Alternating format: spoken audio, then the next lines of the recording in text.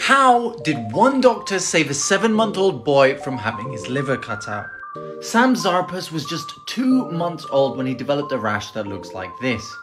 His immune system was attacking the platelets in his blood, which helped the blood to clot, leading to the rash forming. The rash wasn't a concern though, as when your platelets get below a critical level, you can actually start getting bleeds in the brain. So it was very important that the team gave Sam some steroids to actually dampen down his immune's reaction to the platelets to try and replenish the numbers. Despite the treatment, Sam just got worse and worse, and by the time he was seven months old, he developed liver failure with this yellowing of the eyes. The doctors were sure that the only way to save him would be to cut out his liver and transplant a new one, but mom went for a second opinion.